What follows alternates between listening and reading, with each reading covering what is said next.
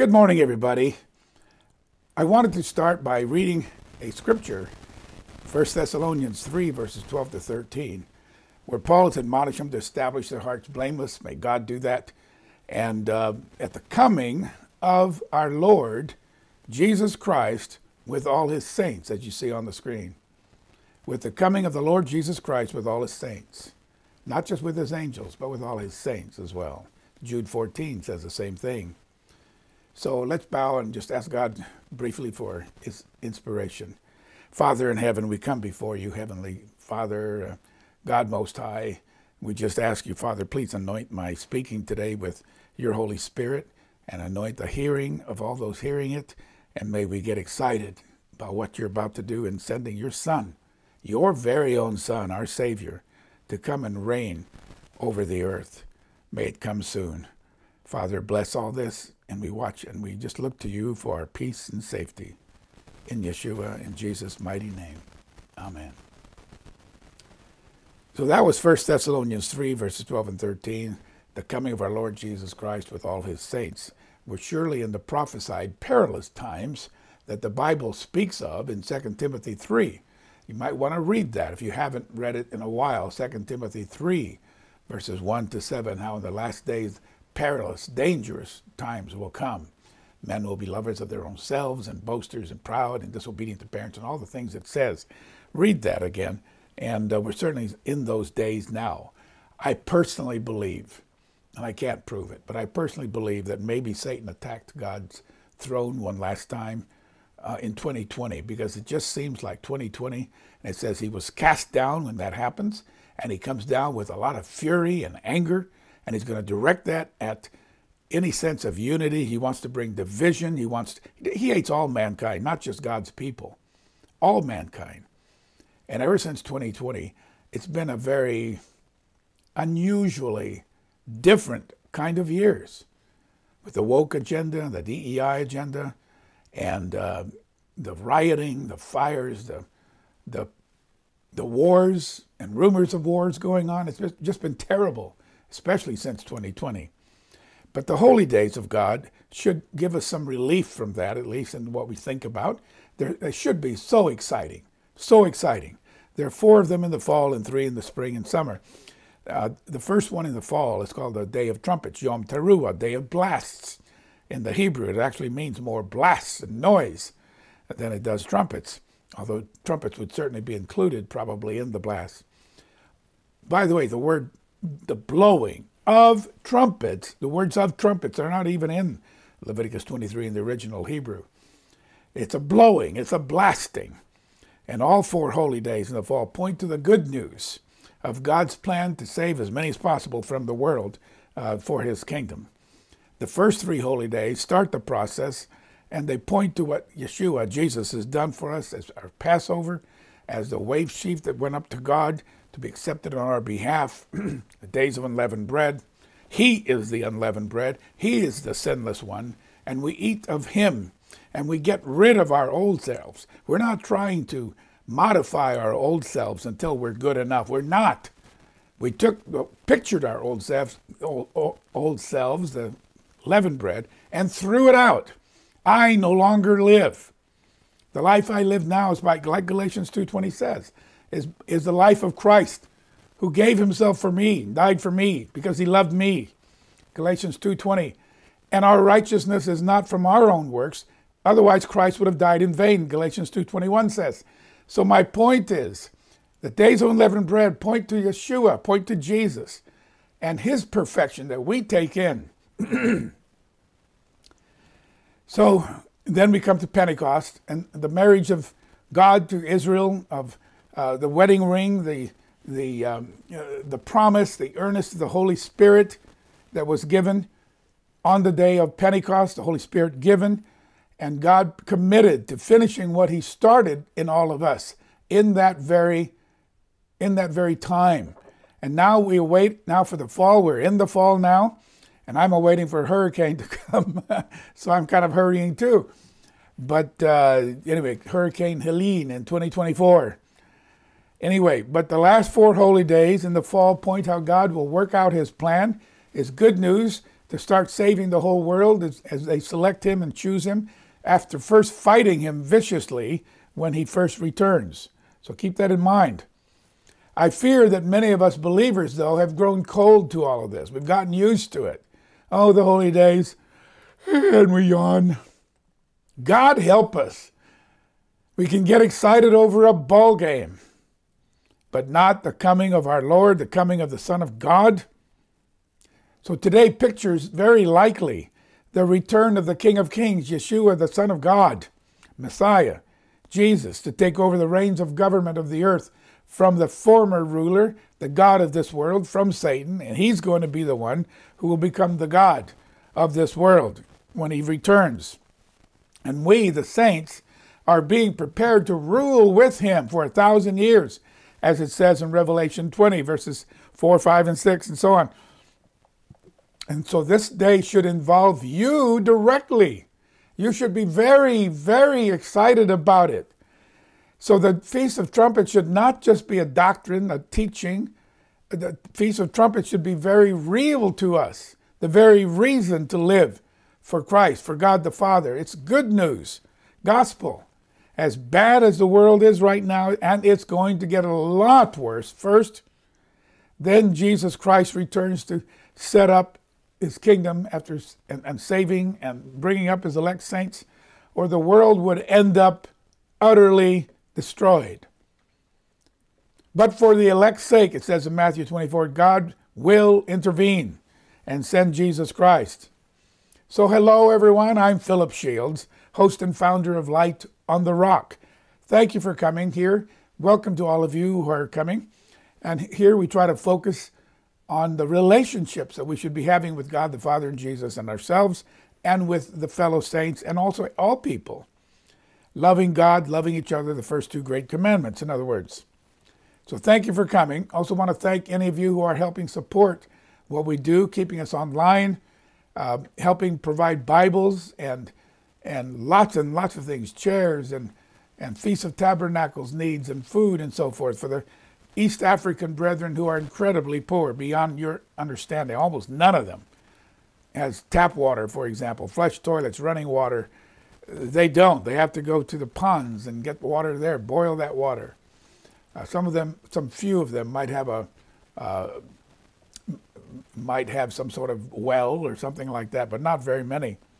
Also, be aware that the uh, Zeno radio is available around the world 24 7 and I'll put the, the link to it in my notes.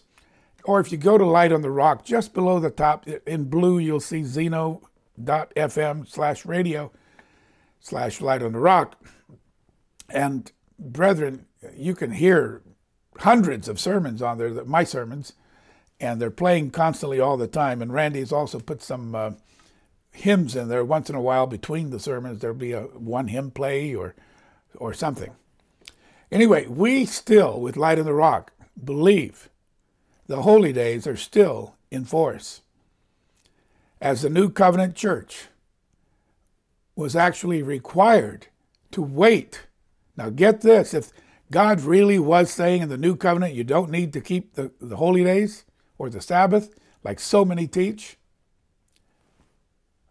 why would Yeshua, Jesus, why would he tell his apostles, stay Tarry, stay in Jerusalem until you receive the gift of the Holy Spirit from the Father. Why did he say that? If they were being done, why did the New Covenant Church start? Start on a holy day, on Pentecost. It would make no sense if they were all being done away with. Acts 1, verses 4 to 5 tells them all to wait until it comes. So that obviously uh, did happen. They kept the day of Pentecost, Acts 2. And uh, the Holy Spirit was given. Acts 20, verse 16 says, I must keep the feast coming up. 1 Corinthians 16, 8, and so on. They kept Pentecost. They kept Passover. That's very clear in 1 Corinthians 5 and 1 Corinthians 11. The Last Supper, the days of unleavened bread, they kept those days. Paul very clearly talks about Christ, our Passover. Okay, has been sacrificed for us in 1 Corinthians 5 and they clearly got together for the days of unleavened bread. It's all there. We also know that when Christ returns, when Christ returns to earth to reign, in Zechariah 14, it says that all the nations of the world will have to send representatives to Jerusalem to worship the king.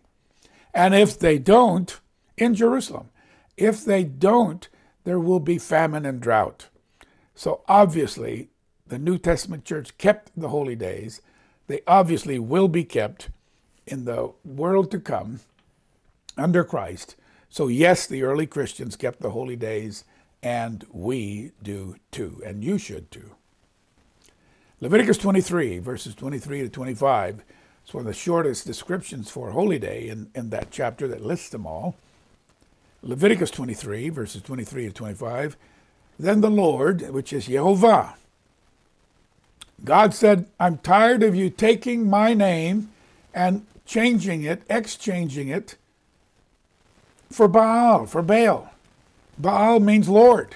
So what did the translators do? The 6,800 plus times that Jehovah is YHVH is given, they changed it to the Lord. That's not what it means. That's not what it was. So I don't say the Lord. In the New Testament, the Lord refers to our Master, Jesus Christ. In the Old Testament, where you read the Lord in all caps, that's taking YHVH, God's name. Jehovah. I now believe it is Jehovah. I used to say Yahweh. If you go to Zeno Radio, you'll hear me saying Yahweh in the early sermons. I really believe it's Jehovah. Then Jehovah spoke to Moses, saying, Speak to the children of Israel, saying, In the seventh month, seventh month of his calendar, on the first day of the month. So God's calendar months always started with a new moon. You shall have a Sabbath rest, a memorial of Teruah. A memorial of Teruah. It was translated blowing of trumpets. It actually means a blast of noise. Happy noise and terrified noise, depending on which side you're on. A memorial of Teruah, a holy convocation. You shall do no customary work on it. You shall make an offering made by fire to Jehovah. Numbers 29 actually lists a whole bunch of other uh, sacrifices that they had, but it also is a memorial of trumpets there. So the first day of every month was when the new moon was first sighted in Jerusalem. It's the only holy day that starts with a new moon. The new moon is not the dark of the moon. And uh, when you can't see a moon at all, but it's the first visible light of the crescent moon. God gave us lights to be signs for the festivals. If you go back to Genesis 1:14, where it says, um, "They shall be signs for seasons," the word "seasons" there is moed or moedim, which points to the festivals. Genesis 1:14, in the creation week. Then God said, Let there be lights in the expanse of the sky. Before that, God Himself was the light. Just like it's going to be God Himself who will be the light in the new in the new kingdom, the newer heavens and earth. There won't need to be a sun or moon because God and His Son will be the light. It says that in Revelation 22, I believe. But here, God said, Let there be lights at the expanse of the sky to separate day and night. They will serve as signs. This is what the Holman Apologetics Bible says.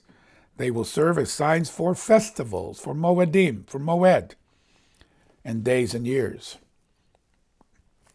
So it was the lights, not the darks. The Hebrew calendar and the exact dates continues to be a problem. So many disagree on it, understand it differently. And we'll have to wait until Yeshua comes back, Jesus comes back, and teaches us exactly what's the right way.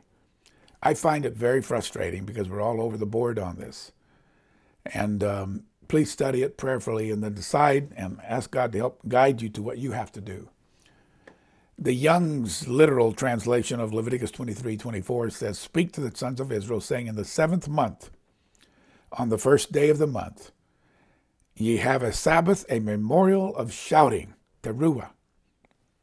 Memorial of shouting is Young's literal translation, a holy convocation. That means a time to get together with other brethren. Holman says you shall have a commemoration of jubilation. Commemoration of jubilation. It'll be jubilation if you're on God's side. It won't be jubilation if you're not. It's going to be horrible if you're not. So you can see that it's really not just about a lot of trumpet blasts. Okay, I hope you see that. And uh, happy jubilation if you're on Jesus' side. And uh, trumpets were to be blown, shofars, teruah, blasts, shouts. Excuse me. I do have a horn here. I've got a big long one, and I don't know how well I'll blow it.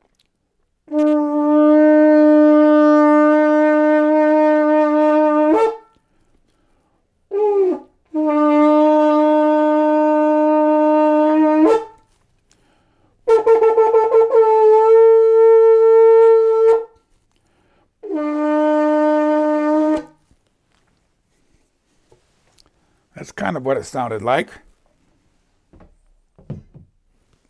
I have a smaller ram's horn that they also use, but I don't blow it very well. So hopefully you have some idea uh, that they heard the shofar when God came down to the Mount of uh, Mount Sinai. And they heard the shofar. It was so loud it terrified them. And so it's a memorial of that, probably pointing back to Exodus 19 and the blowing of the trumpet when God came down to Sinai. Because God was about to come down, uh, it got louder and louder, and the shofar was, it will be that way again when, when God comes again in, in Jesus Christ, who is also God, remember. The shofar was also blown to announce that the enemy is coming. The watchman, Ezekiel 33, talks about that. He had to blow the shofar, the ram's horn, or some other horn, a curved horn, as a wake up call. Wake up, everybody. Get ready. The enemy's coming. Now, Joel 2, verses 1 and 2, the first part of 2. Blow, Joel 2, blow the trumpet in Zion. Sound an alarm. You see, trumpet, alarm in my holy mountain. Let the inhabitants of the land tremble, for the day of Jehovah is coming. For it is at hand, the day of darkness and gloominess, a day of clouds and thick darkness. You may not be able to clearly see the crescent moon, so you may not know exactly which day it should be. Therefore, God is able to say through Christ, You won't know the day nor the hour. That and other reasons I'll talk about. Many, many speakers and many churches are saying they're sure that we're in the very last days and months or year before Christ returns and they claim his coming is likely, and it may well be uh, sooner than we might think. I hope it is. I don't think it's in the next few days or, or weeks. No, I don't believe that. This is 2024 when I'm talking about it. But I do believe the end of 2024, starting with these fall holy days, are going to be very significant, and it will get worse and worse and worse until he finally does come. Many are hoping that they'll at least have the rapture happening. Uh, we do not teach with Light on the Rock a pre tribulation rapture. I do teach at the end of the tribulation, we will be gathered up to Christ, and from there we will go to heaven while the seven last plagues, which will take several months at least, are being poured out in God's wrath on the earth. We will be gone. We'll be up in heaven with God the Father. God will take care of our children and our other loved ones who weren't ready yet to be changed to spirit and go up to heaven with us. Now, we're not going to stay in heaven. If I need you to listen to my sermons on Pentecost 2024 and on the two resurrections. Uh, I mean, sorry, the two sermons on the first resurrection. I need you to hear those so I don't have to repeat them all here. But please listen to it. And whatever you do, do not put your faith in man or woman. There's a big USA election. Our faith is in God. It's not in Trump, guys. It's not in Kamala. Okay? Our faith is not in the elephant party, the Republicans. It is not in the donkey party, the Democrats. Yes, everybody around the world, their symbol is a donkey. Would you believe it? And we are of the party of the Lamb of God. That's it. I'm not saying you can't vote,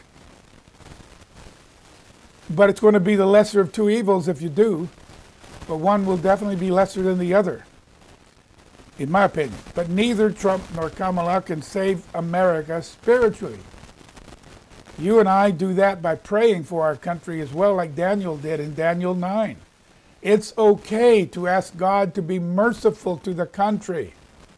It's okay to ask God to lead the country to a revival, to repentance. And I hope I hope you do and I hope they do. So my advice is to be carefully watching, praying, studying God's word, getting as close to him as possible, finding the areas on your life that you haven't surrendered fully to God yet, overcome those and get back in your relationship to God. And remember that Jesus said that he will come at a time you do not think, you do not expect, a time you think not. Matthew 24, verses 42 to 44 Watch therefore, be alert, stay awake. It has the meaning of staying awake. You don't know what hour your Lord is coming. If you'd known, you would have prevented the thief from coming, because even Jesus said he comes as a thief in the night, unexpectedly. Therefore, also be ready. You can't wait till the last minute like the five foolish virgins who had run out of oil or were running out of oil and they were not ready. Be ready, for the Son of Man is coming at an hour, at a time, a day you do not expect. Some translations say the day there instead of hour. In the meantime, let's talk about the Pope, Pope Francis, 2024. Pope Francis, who says he's a vicar of Christ, a representative of Christ on earth, his human government, his human representation on earth, is definitely laying the groundwork for all religions to come together. I don't know if you've noticed that or not. One world government, one world religion. He's saying that all religions have some divine inspiration. All religions. He said this recently in Singapore and Indonesia when he was in those parts, talking to large crowds of, of representatives from six religions were there. One imam even came and bowed and knelt down before him. But in September 23, I think it was, 2024, he spoke to representatives of those six uh, large groups of world religions Muslims, Buddhists, Hindus, Hare Krishnas, even the, uh, the, the natural creation type people as being God. And they all agreed with him. They were all applauding what he was doing and, and, and, and consenting to it. He placed Christianity and all religions on the same par, and the same line together. He made it clear that Jesus is not the only way to salvation. He made that clear. Because every religion is a way to arrive at God. Sort of a comparison, an example would be they're sort of like different languages in order to arrive at God. And if God is God for all, then we're all sons and daughters of God. There's only one God, and each of us is a language, so to speak, in order to uh, arrive at God. Qualcuno Muslim, indi, qualcuno cristiano, Indo, Christian, sono diversi cammini. There, there are different paths. Understood?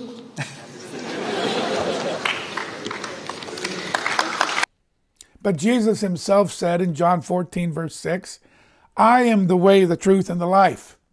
I am it. Peter said there's no other name given under heaven by which we must be saved. Acts 4:12. So events are coming together. Pope Francis in December 2023 also announced that the priest should start being able to bless members of same-sex marriages. He does, I don't believe he said to bless the marriage, but I think he said you can bless the participants in same-sex marriage, to be fair but not the union. Uh, they've committed no crime, he says. We have to love everybody. Nothing wrong with them, so accept them. And remember, the Pope sees himself as the spiritual descendant of Simon Peter, whom he calls, whom he says is the first Pope. Simon Peter the Apostle. We do not believe he was the first Pope. Not at all. There is a statue of Peter. Remember, Pope Francis uh, is from Buenos Aires, Argentina. And there in Argentina is a statue of St. Peter. And on the statue, there was a halo around him, which symbolized holiness. And in his right hand were keys. Matthew 16, verses 17 to 19, when Yeshua, Jesus said, um, I, uh, you know, I'm going to give you these keys for what you establish on earth will be established in heaven. And uh, whatever you bind on earth will be bound in heaven, and unbind here will be unbound in heaven. And so authority, authority to discuss the Word of God. So the Pope was all set to announce on his birthday, day after his birthday, December 17, 2023, all set to announce what I just said that we can bless the participants of same sex marriage, which even the Catholic Church has always said, no, you can't. The Pope is now saying, yes, you can. On the Pope's birthday, December 17, 2023, we'll try to put up something lightning. Well, insurance companies call it an act of God. Lightning struck the statue of St. Peter in Buenos Aires. When it struck the statue, it blew off the hand of the statue, which was holding the keys, the authority to bind and unbind. God, I think, was clearly saying, Pope, you have no authority from me to do this. I am not blessing your actions. And the halo is gone, the holiness is gone. This is all in spite of the fact there's a, there are two lightning rods 30, 40 feet away. It didn't stop it. So the lightning strike blew off the right hand of the statue of Peter, which held the keys of authority. Isn't that amazing? I'll put in the notes the link you can click on and see for yourself the pictures of what I'm talking about. God in heaven is making it clear I am not supporting what Pope Francis is doing. I am not. He's blown off the, the, the keys of authority. He did not have authority to unbind that marriage between a man and a woman. But he certainly, Pope Francis certainly setting the stage for Revelation 13 to happen when there'll be one religion, one government worldwide. I don't know if he'll be the Antichrist, the false prophet. I don't know. The Antichrist can refer to the false prophet, can also refer to the beast power that they, they're like one. They're two of them working together, just like there'll be two witnesses working as one in Jerusalem. But the stage is certainly being set for one world religion. There are two beasts mentioned in Revelation 13. The first beast is seen as coming out of the sea, very blasphemous power. Other scriptures actually say this beast, get this, and I don't know how to uh, explain it. This first beast comes out of the bottomless pit, out of the abyss, whatever that could mean. Revelation, read it yourself. Revelation 11 7. Pause this, go and read it. Revelation 11 7. Revelation 17 8. The bottomless pit, the abyss, is where the worst of the demons are that you find about and you read about in Revelation 9. Remember when Jesus cast out the legions of angels, fallen angels, of demons that were in this guy named Legion? The demons begged him, please don't send us to the bottomless pit, to the abyss. We please don't. Can we go into those pigs over there instead? Which they did. We don't eat pork. Very unclean animal. And that's that's what happened. They I mean, even those demons didn't want to go there. It's a terrible place, they said. Don't send us there. But this beast power, we're told in Revelation 11 7, comes out of the bottomless pit. Now, whatever that can mean, the first beast is the military, economic, political leader that will be over the whole world. This first beast is given power and given his power throne and his great authority by Satan, the dragon, the devil himself. It says that in Revelation 13, 2. Now, Revelation 13, verse 5, verse 5 to 8. And he was given a mouth speaking great things. This is the first beast, the, the political military leaders, and blasphemies. He was given authority to continue for three and a half years, 42 months. And he opened his mouth in blasphemy against God. This has to happen, this will happen before Christ returns. During the same time, the two witnesses are preaching in Jerusalem for 1260 days, which is also 42 months, which is also three and a half years. Then he opened his mouth in blasphemy against God to blaspheme God's name, his tabernacle, and those who dwell in heaven. It was granted to him to make war with the saints. That's us, folks. Any of us left here? and to overcome them. You hear that? He's given authority to make war. Don't let that terrify you. If you're beaten, if you're jailed, if you're killed, if loved ones are beaten, jailed, or killed, Expect it. The early church, the early prophets, Isaiah was sawn in two. Expect it. We'll have to give testimony of our faith in God no matter what.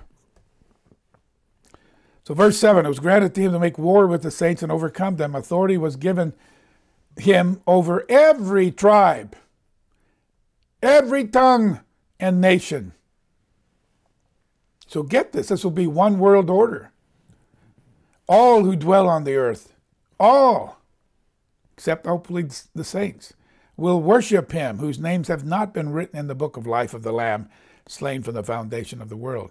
Then if you read the rest of Revelation 13, you'll see there's a second beast. This one comes out of the earth. This is the false prophet. Revelation 13, verse 12, he causes everyone who dwells on the earth to worship that first beast. Verse 13, he performs great signs, even calling down fire from heaven, which deceives everyone. Wow, this is like Elijah. This must be a true prophet. Verse 15 of Revelation 13, he causes great image of the first beast that they build and make to come alive, to speak, to move, to speak at least. And any who would not worship this image of the beast would be killed. You and I will have the opportunity to duplicate Shadrach, Meshach, and Abednego. We will not bow down to that beast image. If we don't, we will be killed. We will not be delivered like Shadrach, Meshach, and Abednego. Says we will be killed. That's what it says. He causes everyone, verses 16 to 18, to receive a mark on his right hand or on his forehead, and you won't be able to transact business. You won't be able to pay your mortgage or, or your rent or buy petrol or gasoline or food. We're going to have to have a lot of faith and some of us may die. If they don't have the mark of the beast on their hand or forehead or take his number, 666, or whatever that number means, some are saying means different things now, but we're getting there. So before Christ returns, for several years before Christ returns, there will be other things happening. Some horrific years are coming. Remember Revelation 6 talks about six seals and the seventh seal in Revelation 7. The first seal, and first thing Jesus said is, Don't be deceived. It was the first seal is a white horse, false religion. The, fourth, the first four seals, the four horsemen. The white horse, false teachers. The red horse, who takes peace from the earth, brings a lot of war. I think we're coming into that. We might hit a time of apparent peace when people are saying peace, peace, but there is no peace, a black horse follows, famine worldwide so severe you can hardly find food anywhere. Followed then by the pale horse or green horse. The Greek word there for pale or green is chloros. So some people feel like chlorophyll, that it's a greenish colored pale horse death and destruction that will affect a fourth of the world. If it means a fourth of the population, that's 2 billion people. It might just mean a fourth of the territorial part of the world. And so now uh, we're in the fifth seal of Revelation 6, and that's the great tribulation, Satan's wrath against God's children. It lasts for three and a half years there's a three and a half years of peace before that and a false covenant, maybe a new temple built and all of that. And then this beast power goes into the temple in Jerusalem and declares that he is now God. That's in Second Thessalonians 2, if you want to read that. And then the sixth seal, okay, fifth seal was Satan's wrath the sixth seal of horrible signs in the skies, near misses by asteroids, meteorite showers, even supernovas, stars exploding. They're talking about that now already. So I think we might be very close to these times. And then the seventh seal of Revelation 7 144,000 Israelites are sealed a great number you can't count of non Israelites are identified as having repented. I don't know if they're alive still at this point, but they came out of the great tribulation. Thank God for them too. So it won't so it won't be just us. There'll be others repenting and being sealed after the great tribulation, the 144,000 that come out. And then those that come out of the great tribulation, you can read that again. There are 144,000 mentioned in Revelation 14. If, whether that's the same as the one in Revelation 7, all I know is the ones in Revelation 7 refers to those from Israel, the 12 tribes. I am already sealed. You should already be sealed with the Holy Spirit. You don't need to be sealed, protected, or whatever some more. You're already sealed. So we'll talk about the 144,000 again some other time. But then after the seventh seal, you have seven last, you have seven trumpet plagues of God's wrath. Read them for yourself. I don't have time here. In Revelation 8 and 9, all of this happens before Jesus returns. The seventh trumpet will be the first resurrection when the kingdoms of this world, Revelation 11:15, I think it's the passage, have become the kingdoms of our God and of his anointed one, of his Christ. That's what Christ, that's what Messiah mean, anointed one. That's when he comes back to collect the saints. His angels collect them. Matthew 24, verse 29 to 31 or so, says that. They come and collect the elect from around the world meet Christ in the air, and so we shall ever be with the Lord. And what's he doing? He says, I go prepare a place for you. My Father wants to, you to see what we prepared for you. So that we're then going to go back to heaven, as I explained in the first resurrection sermons and the, and the Pentecost 2024 sermon. You've got to hear those if you haven't already. Why do we go to heaven? Why must we go to heaven? Because there are still seven last plagues terrible plagues pain and suffering and boils and heat and all kind and earthquakes and all kinds of things hailstones and war. So that's God's wrath and we will not be participating in the wrath to come we're verses that say that. So anyway so we go to heaven. Why? To meet God the Father, our Father, to see the mansions that have been built by Jesus for you. You guys from Africa are just going to be blown away. All of us are going to be blown away. But especially those of you who have barely barely live in a mud hut with a thatch roof, one little room in it, and no running water. You're going to be blown away what God has prepared for you. Don't give in to the false prophets and the beasts. So we go there to meet God, the Father. We go there to see our mansions. We go there to get final training to learn how to work together, who's doing what. So when we do come back down to earth and land on it and rule with Christ, we all know exactly what we're supposed to each do. Exactly, no confusion.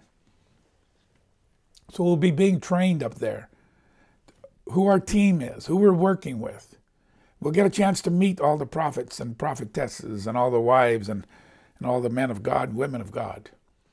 And you'll be a man and woman of God. And then we also have to get married to the Son of God, the marriage supper. What a great time that will be. And then at the end of all that, we mount on angelic steeds, horses, and with millions of angels we all come back together with his angels and his saints, with Jesus Christ leading the charge, leading the way. You want to miss that? I sure don't. If you don't want to miss it, wake up. Get zealous again. Fight sin. Satan's going around like a roaring lion, seeking whom he may devour. Don't let it happen. Now, I do want to mention briefly what time is it already? Wow. Uh, I'm only halfway through. We don't believe as Judaism teaches. We're not Judaism's first people, guys. We at Light on the Rock do not follow the traditions, customs of Orthodox Judaism. Those of you who study it are going to get confused because they believe we're still in the old covenant. At best, they, they believe we're the Messianics and the Hebrew roots people believe we're in a uh, uh, revised, reformed, renewed, that's what I'm looking for, renewed covenant of the old covenant. So they get it all mixed up. Judaism teaches that on the Feast of Trumpets, the shofar is blown 100 times. Nothing in Scripture says that. I do hope that your congregation blows the shofar on this day. Jews feel there are at least four different types low and then long and then ta ta ta ta ta. I blew some of those just so you have some idea. The tekiah, short blast, the shevarim, three blasts starting low, ending high, the teruah, nine short staccato blast, followed by the tekiah gadola, one very, very, very long, loud blast at the probably the 100th blast. So they call that 100th blast the last trumpet. Again, the Bible doesn't say. The Bible does say there's seven trumpets. And the seventh trumpet is when the kingdoms of this world become the kingdoms of our God and of his Christ. And so uh, the day of Teruah uh, is the first of the seven months. Uh, they have all the holy days except atonement as two days. The Bible does not teach that. The Bible gives a specific date, the first day of the seventh month. It doesn't say the first and second. Okay, Passover is the 14th day, not the 14th, 15th. And so uh, don't follow Judaism. And the Bible does not say anything about the 10 days of awe because that's based on their belief that on a day of atonement, on Yom Kippur, your name is either in the book of life or it's not. If it's in the book of life, their teaching is it's only good for a year. And that's why you have to have all these sacrifices. And so, because that's supposed to restore you with God again. So, from trumpets to atonement, they're telling everybody, hey, repent now, avoid the Yom Kippur rush. You know, do it now. Make sure your name's my name's in the book of life. Your name's in the book of life. God is not pulling names in and out, putting them in, taking them out. He can, and he does for a few. But the concept of having to restore your salvation with God every time is not biblical. I believe and teach that when we repent of our sins, all of our sins are forgiven and gone and they're all put onto the Lord Jesus Christ. He is the one who takes all of our sins. God cleanses us of all of our sins. He writes our name in the book of life. Paul talked about different ones whose names are in the book of life. I think that's in Philippians and other, other epistles. We're redeemed and our lives are saved by Jesus Christ. And we're told that He's going to finish what He started in us. Philippians 1 6 says that. 2 Corinthians 1:22 says that. God gives us a guarantee that he will save us when he gives us the Holy Spirit. This was pictured by Pentecost. So our names don't hop in and out. And so remember, we're rewarded by our works, but reward has nothing to do with eternal life. Reward is what we'll be doing during eternal life, if anything if our works are shallow and bare bones, there won't be much to give you as a reward. You can read that in 1 Corinthians 3, the last half of it. That those who build with haste, wood, and stubble, in the day of the Lord, their works will be tested. And if it burns up in the fire, in the test, then it does. But the persons themselves, it says, in 1 Corinthians 3, at the end of it, will still be saved, but as through fire, like they've just been through a fire.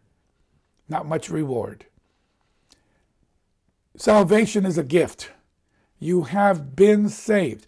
The wages of sin is death. The gift of God is eternal life in Christ Jesus. Okay, you know those verses. I hope you do.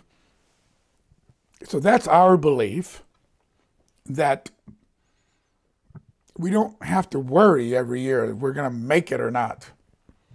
stay close to God and you'll be fine. Remember, Jesus is called the author and finisher of our faith in Hebrews, in that chapter 12 or 13, I think it's one of those. And 2 Peter 1, verses 10 to 11. Therefore, brethren, be even more diligent to make your call and election sure. For if you do these things, you'll never stumble. 2 Peter 1, I'm in verse 11 now. For so an entrance will be supplied to you abundantly into the everlasting kingdom of our Lord and Savior, Jesus Christ. See, it's the kingdom of God, God the Father, but He's also bequeathed that now to His Son. So it's also the kingdom, as we read here, of Jesus Christ. He also shares it with us.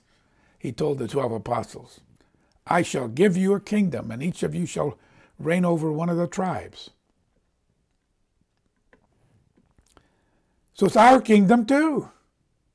It's God's kingdom, Christ's kingdom, and my kingdom and yours. So God called you, He gave you to Jesus, Yeshua, to work with you. None can come, to the Father except by me. And He won't lose anyone or anything God's given Him. John 10, verses 27 to 32. All that the Father has given me, I will keep. I won't lose any of them. As His sheep, we hear His voice, we follow Him That's what it says in John 10, verses 27 to 32. Make sure you're hearing his voice. Make sure you're gathering your manna, the bread from heaven. Make sure you're doing Bible study, a lot of it. Make sure you're cutting out a lot of wasted time that a lot of us are probably spending on other things. Now, in 1 Thessalonians 5, verses 23 and 24, now may the God of peace himself sanctify you completely 1 Thessalonians 5.23, and may your whole spirit, got to give a sermon on this. What, what's the difference between spirit, soul, and body? May your whole, they're not, the soul and spirit aren't the same. Soul and body aren't the same. May your whole spirit, soul, and body be preserved blameless. I know you don't feel that, but if you're really accepting the righteousness of God Himself, bequeathed to us, imputed, credited to us. That's how that's possible. Be preserved blameless at the coming of our Lord Jesus Christ. He who calls you is faithful, who also will do it. We're not saved by our works we're rewarded by our works, but rewards are not salvation.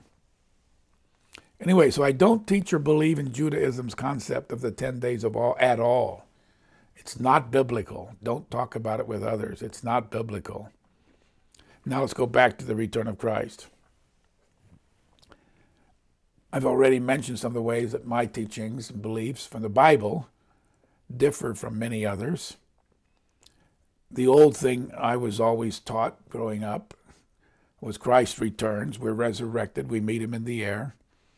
We destroy the armies that are gathered below us and then come and land on the Mount of Olives, splits in two, and then we reign with Christ for a thousand years. All that happens in one day, is what I was taught. More and more and more of us are seeing it can't be that way. First of all, there's seven last plagues to have to still go through. In Revelation 16, lists them all. We're already resurrected. What do we do during those seven last plagues? That's going to take at least a few months to dry up the Euphrates and bring armies. And as I said earlier, our old teaching was okay, we come back and then we destroy the armies that are gathered against us. No, we don't. The armies aren't even there yet. There's some armies around Jerusalem, but not the gathering of all the nations to fight Christ. That hasn't happened yet. That won't have happened yet. So the seven last plagues, the armies gathering, hasn't happened yet. But they have to happen. So that's why I teach we have to go to heaven, pictured by the two leavened loaves of Pentecost being elevated up, two of them, probably teaching the Israelites and then everybody else the two loaves, Israelites and Gentiles, or whatever the two loaves picture, it pictures all of God's people. They're raised up towards heaven. So we can't just go on hovering over Jerusalem in the air all that time. But we do go to heaven, meet Father, get our new names, see our new mansions, get final training. An exciting, exciting time. And we're not suffering the seven last plagues down here on earth, and neither will your children. God will take care of them. I believe the Bible shows us the Messiah will return in two passes, two phases, two stages. He comes down the first time with angels they gather his elect from around the world who are still alive and resurrects those who died in Christ first and then gathers the elect. And then we go back to heaven, like I've just said. We're there during the months of the seven last plagues. And then we come back the second time. The first time Jesus comes on the clouds. The second time he comes on a angelic horse, white horse. And so do all the angels as well. They all come on white horses, and so do you, being led by King Jesus, the Lord of Lords. Remember, the first resurrection at the seventh trump is only for spirit filled elect, only for the first fruits.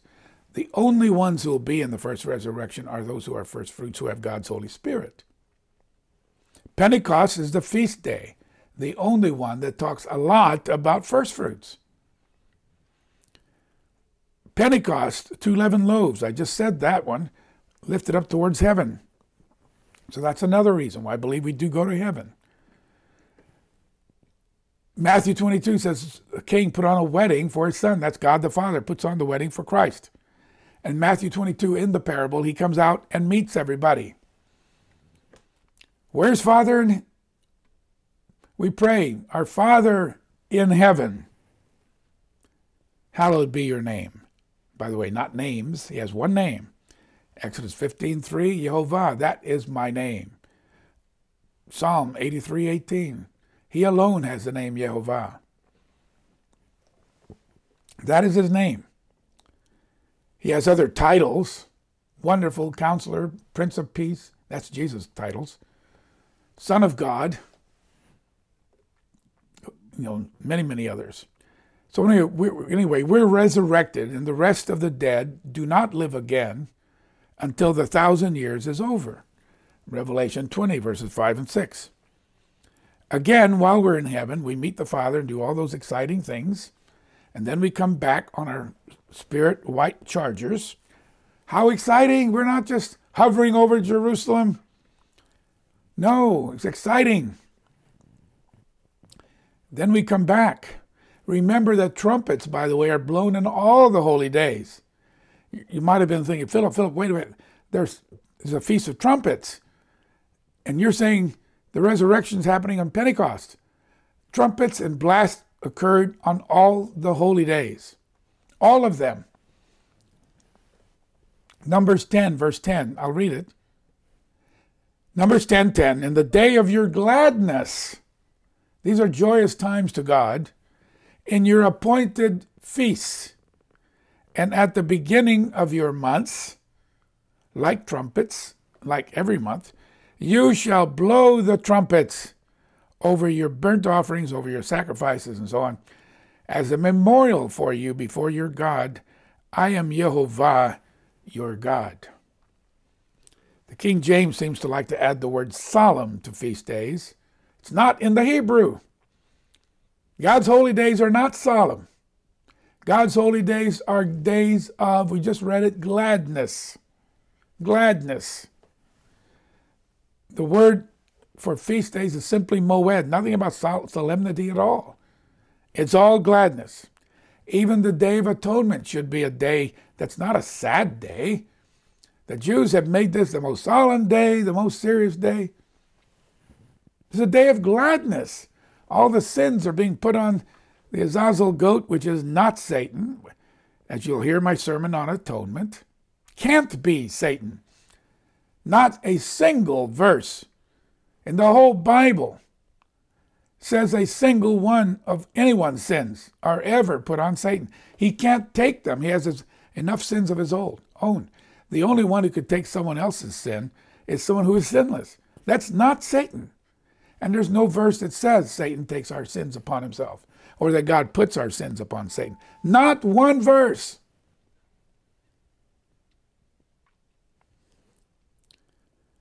We'll talk more about that in a minute. So these are days of gladness. And though the last trump of the seven trumpets will have been blown, that doesn't mean that there will never ever be another shofar blown, another trumpet blown. And remember the day of Yom Teruah trumpets, that what we what we call Day of Trumpets, really means blasts.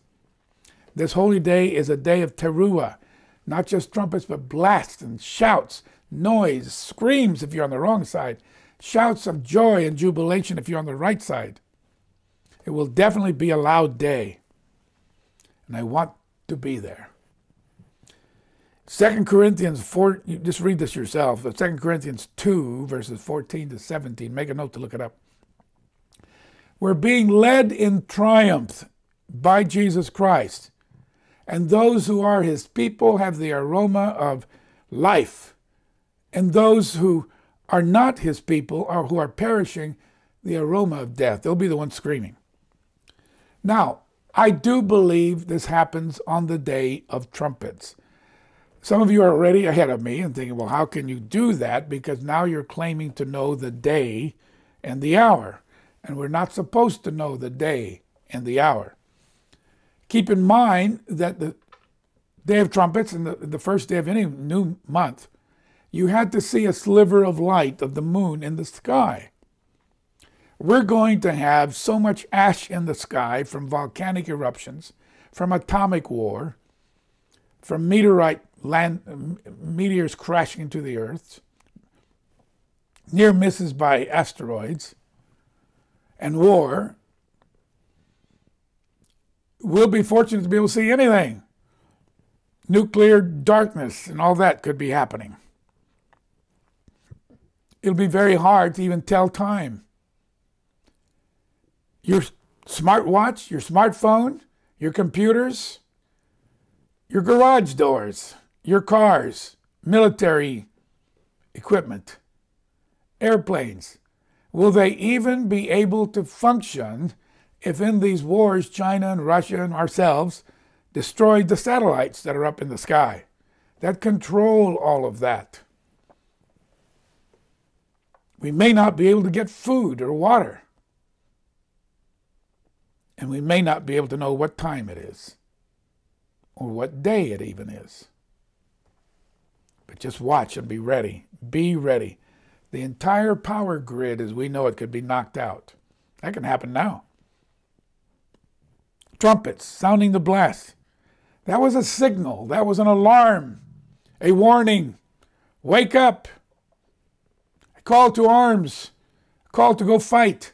Sometimes it was a call to retreat, depending what was being blown. The shofar blasts were signals, like a foghorn like a railroad like a train on a railroad, blasting that's about to enter that intersection, like a fire truck going by.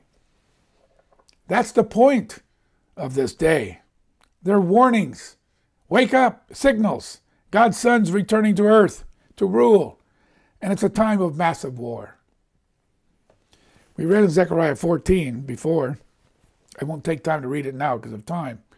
Do read it yourself. All the nations will be gathered against Jerusalem and against Christ. And when he comes, the Lord of hosts, that's Christ in this case, will have their tongues dissolved, their eyes dissolved, the skin dissolved, except for two people. Those two people, he's going to grab them and throw them into the lake of fire. I'll read that in a minute. So Revelation 19, Revelation 19, we have the marriage supper, then the coming back, uh, riding the horse, and so forth. Revelation 19, 11, let's just read all this, verses 11 to 16. And remember, Peter and Paul and James um, and the other apostles, they never knew all this. This is revealed. The revelation, it's a day of revelation of Jesus Christ. It wasn't the revelation of John, the revelation of Jesus, says in Revelation 1. Now I saw heaven open, verse 11, Revelation 19 11. I'm going to read through verse 16 and continue on from there. I saw heaven open, behold, a white horse. He who sat on him was called faithful and true, and in righteousness he judges and makes war. His eyes were like a flame of fire. This is what Yeshua really looks like, not the namby-pamby, long-haired, sweet Jesus. This is this Jesus who's coming back is coming to rule and to fight, not just come as a sweet baby in a manger. This time it's different. In righteousness, he judges and makes war. His eyes were like flame of fire, uh, verse 12, and on his head are many crowns, symbolizing he's King of Kings. He had a name written that no one knew except himself. He was clothed with a robe dipped in blood, and his name is called the Word of God. And the armies in heaven, clothed in fine linen, white and clean, followed him on white horses. Out of his mouth goes a sharp sword with which he should strike the nations. Different coming this time. He himself will rule them with a rod of iron. He himself treads the winepress of the fierceness and the wrath of Almighty God. And he has on his robe and on his thigh a name written King of Kings, Lord of Lords. The only one higher than him is God the Father, God Most High. Now, verse 17 Then I saw an angel standing in the sun, and he cried with a loud voice, saying to all the birds, Come on to the great supper of the great God, that you may eat the flesh of kings and flesh of captains and mighty men, horses and those who sit on them and I saw the beast, verse 19, the kings of the earth and their armies. The beasts, kings of the earth and all their armies, gathered together to make war against him who sat on the horse and against his army. This happens after the marriage supper in heaven. We just read that in the first 12 verses or so of, or 10 verses or so of Revelation 19. Please hear my sermons on the first resurrection. There are two of them I gave in 2024 and the, and the sermon on Pentecost 2024. Please hear those. Verse 20 And then the beast was captured, and with him the false prophet who worked signs in his presence, by which he deceived those who worked who received the mark of the beast. Don't ever, ever do that. I don't think you can mistakenly take the mark of the beast, or that wouldn't be fair. But if you're aware that that's the mark of the beast, the name of the beast, do not take it, even if they torture you. Don't take it. They received the mark of the beast, and those who worshipped his image, these two were cast alive into the lake of fire. Someone told me the lake of fire is never mentioned in the Bible. Well, we just read it right here cast alive into the lake of fire. We, we've just read it.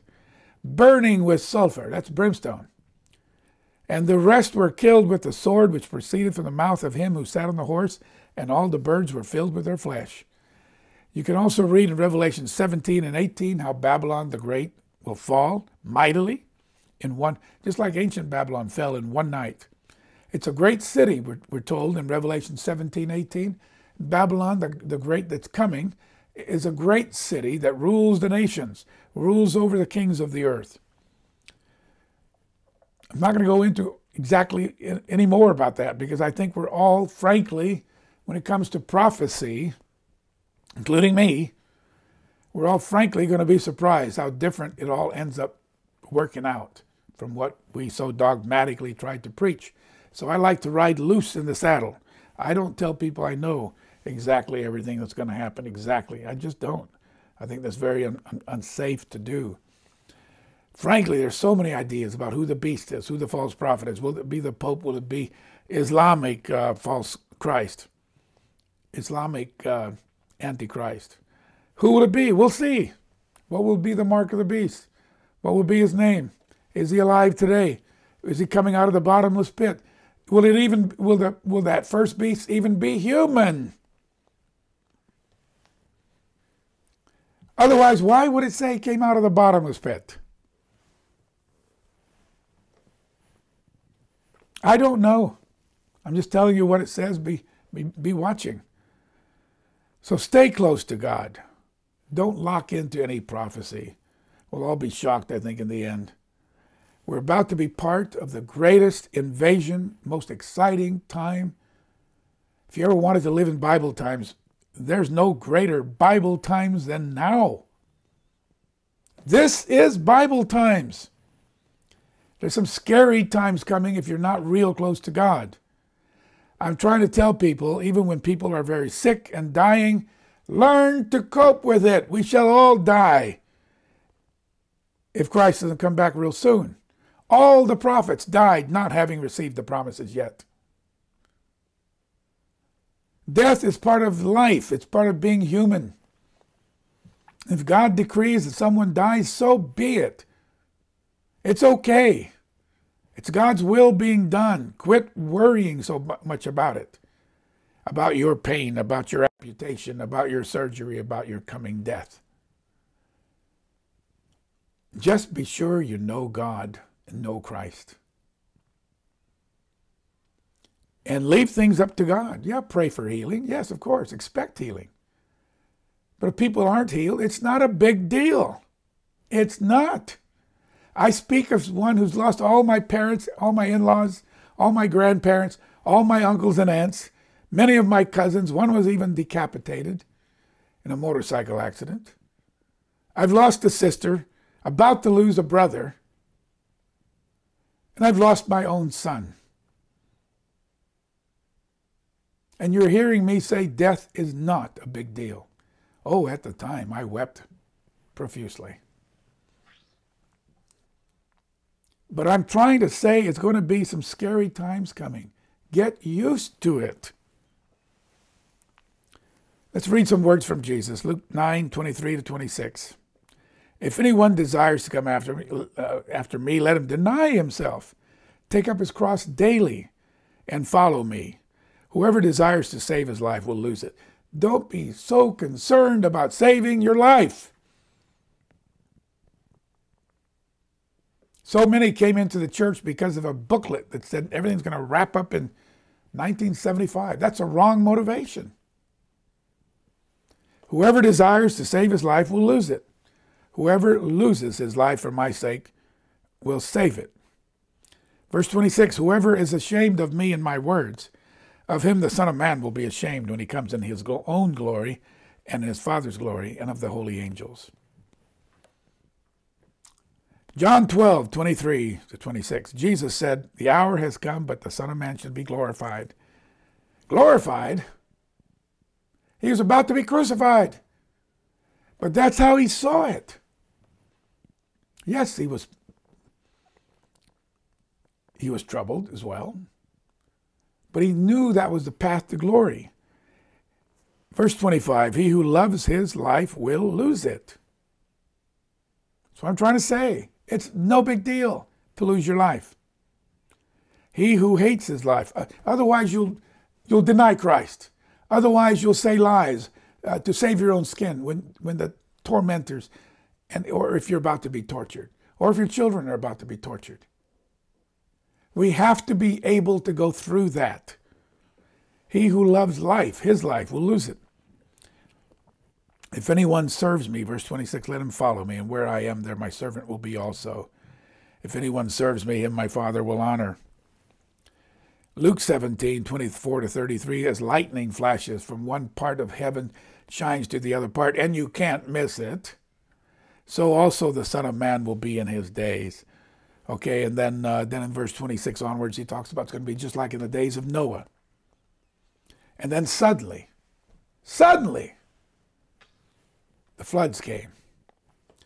Verse 28, just like in the days of Lot, they ate, they drank, they, they verse 28, they bought, they sold, they planted, they built.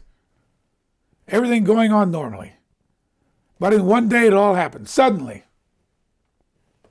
Don't get caught off guard by the suddenly things. Even so will be when the day of the Son of Man is revealed. If you're on the housetop, don't go down, don't go back down and grab a couple suitcases full of stuff. There will be a time, as it goes on to say, read it yourself on the screen. Remember Lot's wife. And again, if you seek to save your life, you'll lose it. There's coming a time we won't have time to gather everything up. You'll be lucky to gather your family together and get out, move. Maybe those who are about to kill Christians are coming to your town and you've just heard it and you don't have time to take anything except your family and leave. Be prepared to do that. Matthew 16 says the same thing all over again. If you seek to save your life, you'll lose it. But if you're willing to lose your life for my sake, Matthew 16, 25, you will find it. And 1 Thessalonians 3:13 at the coming of Jesus Christ with all his saints. Verse Jude 14 with coming with ten thousands, tens of thousands of his saints. And then we land on the Mount of Olive, all described in Zechariah 14. And then we go to Jerusalem. Mount of Olives splits in two. With all these earthquakes, I doubt very much that any temple that's been built will remain standing because we need a new temple in the millennium. I believe that will be the fourth temple. I believe it's very likely there will be a third temple where the beast system declares he is God in there. Second Thessalonians 2. That will all be destroyed. And then we start to rule in Jerusalem. But remember, then the next thing that happens is Revelation 20, verses 1 to 3. There's nothing in these verses, though, that says a single sin is placed on Satan. It simply says a strong angel, maybe Michael, maybe someone else, will capture him and presumably all the demons, all his demons as well, although it doesn't say that. But Satan and all that he represents will be put in chains, thrown into a bottomless pit. Not a word here of a single sin being able to be taken by someone so sinful. He has no room for any more sins. He can't. There's not a scripture that says he does. John 1 29 says, Behold the Lamb of God, Jesus, who takes away the sin of the world. Isaiah 53, verse 6, the last part, Jehovah has laid on him the iniquity of us all, not on Satan. Isaiah 53 11 and 12 says, The righteous servant, not Satan, shall bear their iniquities. Last part of verse 12, and he bore the sin of many. Yeah, we were all taught that all the sins are put on Satan. Show me one verse. I asked for one. It says that's what happens. All the verses says all the sins go upon him, upon Jesus Christ, not Satan. So Satan is confined, confined to the bottomless pit for a thousand years, presumably with his demons. The reign of Christ will begin, joined with us reigning with him. We'll be teaching and ruling, teaching God's way. Ruling God's way as a servant. Don't seek to lord it over others, Jesus said. But when you lead, lead as a servant, like I have, Jesus said. So come, Lord Jesus. Father in heaven, send him back soon. Let's pray. We'll conclude. Oh God in heaven, we come to you. And yes, Lord Jesus, we speak to you also. Thank you so much for everything you've done for us. Father, please send Jesus back soon. Please do. The world is getting worse and worse, and it's going to become undescrib- indescribably worse. So we raise our hands like a child, raising up his hands to father, to his mother, whatever, wants to be lifted up. Smile upon us. Gaze with joy upon your children. Bring us together, Father, your true people. We're all so divided right now. Bring your people together, Father.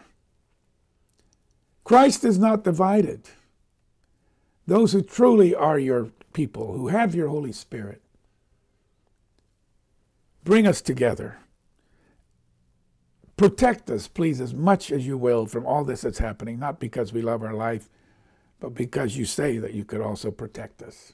We trust you, whether you do or not.